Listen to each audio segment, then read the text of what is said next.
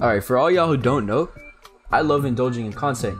And some of my favorite people to watch and indulge in content is My Story Animated because like they just have so many quality top tier videos. You know, like no one knew I was a famous singer. The one that specifically caught my eye right here was um my boyfriend has 74 girlfriends because I can relate to that. Because my boyfriend also Yeah, but uh there's not much more to say. I just wanted to watch this because it looks like most interesting thing I've ever seen my entire life. I'm Joy from Belgium, and my story is all about how one little prank can change your life hmm. forever. But before we get started, hmm. please like and subscribe. End of story. She got shot. Growing up, I was the only child in a family of artists. My parents were always busy with their creative work, leaving me with plenty of time to play the rogue. I was a little red-headed ball of energy, and from a young age, I loved to joke and prank my parents and their friends, whether it was acting like a zombie or playing dead on the floor. She's definitely a goofball. Look at that face. I was already pulling the fire alarm for fun, cutting my parents' hair in their sleep, and secretly turning up the thermostat. Although I could be a handful, I was able to get out of trouble with my charming smile and big, pleading eyes. Am I the only one that just wants to like Surprisingly, I didn't have any issues at school either. Many of my classmates found me hilarious. Things were going great for me until we went to high school. Suddenly, my jokes started to seem childish and annoying to my classmates, and I became bored and stopped playing pranks. Around that time, a new student named David showed up at our school. David's definitely a cool kid. Look at him. Look at that cool, awesome guy with the cool, awesome shirt and the football. Oh, he's so cool. He was a football star whose parents had just moved into our neighborhood. With trainers watching over him, clubs hunting for him, and a personal fan club of cheerleaders, David was the quintessential jock with a perfect reputation. I couldn't resist the opportunity to pull a trick on him, like shock pens, sticky notes, and even a snake in a can. But David didn't even seem to notice. Then I got more creative and put baby powder in his helmet. One of the cheerleaders ended up getting covered in powder. I set up slime buckets above the door of the locker room, and when the football team walked in, they all got covered in slime, except freaking David, who was the last to enter. I'm sorry, but if we roll back on that, how blind do you have to be? How stupid? Like, if I ever see buckets propped up on a door, I'm not just gonna. Be, uh, oh, what the fuck? Hey, I see you can use a hand. Why are you helping me clean up the slime? Because I'm a decent human being, or maybe I just wanted to talk to you. What about? Why, you don't stop trying to prank me? Did I do something to upset you? Or are you secretly in love with me and. So I felt like getting to you with a prank. You know, like trying to find out what your kryptonite is.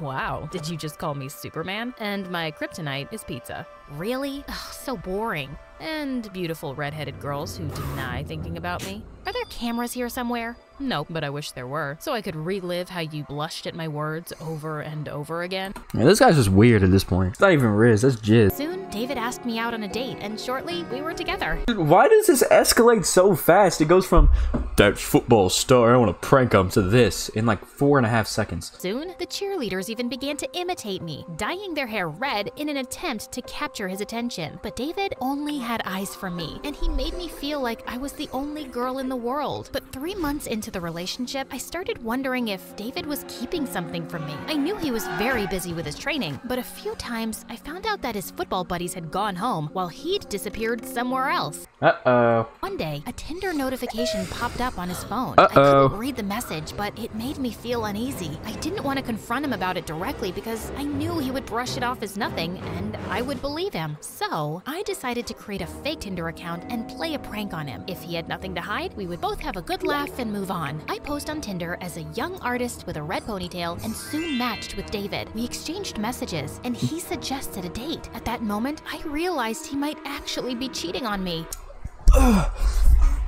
No! We met at the cafe, and he was in his best mood. To avoid revealing my real voice, I pretended to be less talkative. He led the conversation, but sometimes he would stop speaking, gaze admirably into my eyes, and touching my hand. And I was getting angrier by the second. It was time to tell him he'd been caught. Suddenly, a beautiful girl with curly carrot hair rushed to our table, and David turned. This is why I love this so much. It's so stupid. What the heck, David? You said it was a one time thing. What the heck, David? David was a womanizer obsessed with redheads? Tinder artist? Georgia? Francesca? Were there more? I needed more answers, and I decided to track down Francesca. It didn't take long before I found her, surrounded by gorgeous flowers that paled in comparison to her beauty. She was a knockout. By any chance, are you David's girlfriend? Yes. Is everything okay? To tell you the truth, Georgia asked me to check if he's still with you. Poor girl, I feel sorry for her. She's David's ex and she's obsessed with him even now. She can't seem to accept that he's moved on and he's in love with me. I think they're about to get together now.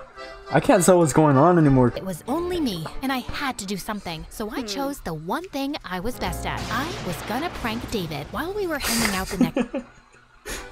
Prank him. I spied his phone password, and when he went off for training, I posted on his Facebook from his phone. Hey, Bay, if you're seeing this, get ready for a surprise tonight. Winky Face Heart, 7 p.m. at the fountain. At 7, the meeting point was crowded with red haired girls, and I was just as shocked to see the number. I saw some familiar faces, like Georgia and Francesca, who hadn't seen each other yet. Finally, David arrived. The army of girls rushed to him and then suddenly stopped to look at each other. David stared at them all in horror, realizing he'd been exposed. He panicked and just jumped back into. That's a real nice football outfit. It's exactly what football looks like. I love American football. What, nonsense! I'm his girlfriend. They all started fighting like crazy.